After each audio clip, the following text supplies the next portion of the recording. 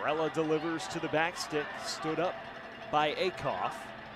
Cleared only as far as Liboria. Chattanooga with the wind in their sails a little bit. Varela tries one, the follow up, and it trickles over the line. Chattanooga level. And the Red Wolves pull one out of the bag. From still waiting for official credit on the goal. It's either going to be Chevone Marsh or Riley Kraft. Either way, Red Wolf fans can rejoice. They break a goal duck that's lasted over 200 minutes and they level the scoreline here at home.